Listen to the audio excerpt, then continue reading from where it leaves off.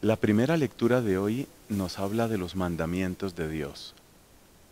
Y el Evangelio de hoy, tomado del capítulo décimo de San Lucas, nos habla de nuestro prójimo. Pero hay algo que tienen en común la primera lectura y el Evangelio. En ambos casos se habla de lo que está cerca. Nos dice Moisés en el Deuteronomio, el mandamiento está cerca. Y nos dice el Evangelio, tu prójimo está muy cerca. Aquel que tiene necesidad, aquel que requiere algo de ti, está muy cerca. Esa cercanía es entonces el vínculo entre la primera lectura y el Evangelio. Lo que Dios quiere no está lejos, nos dice Moisés. Y el hermano que te necesita no está muy lejos. Es decir, que el puente al que somos invitados hoy es descubrir que el camino de la voluntad de Dios es también el camino del servicio al prójimo.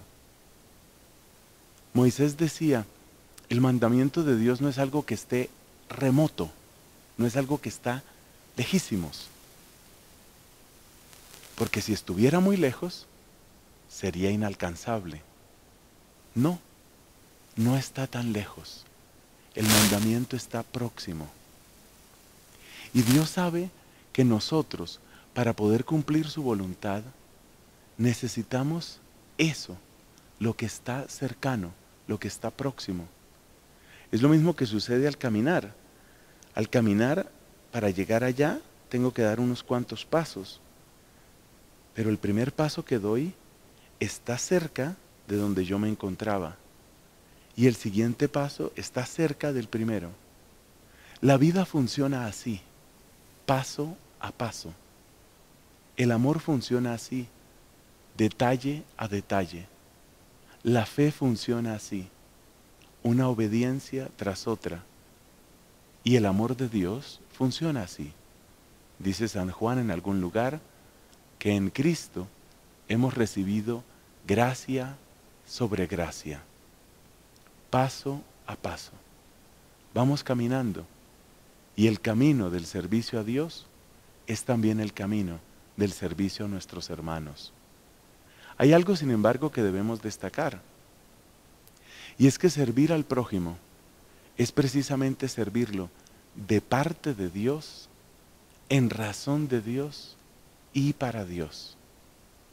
No limitemos la caridad únicamente a lo que ven nuestros ojos, porque el primero que nos mostró que la caridad va más allá de lo que ven los ojos fue el mismo Cristo.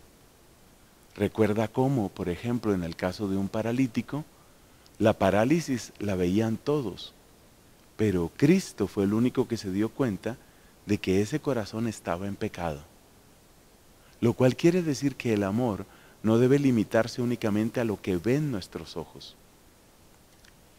Resumen, el camino del servicio a Dios se confunde con el camino del servicio al prójimo, entendiendo que el amor con el que amamos al prójimo viene de Dios y a Dios quiere retornar.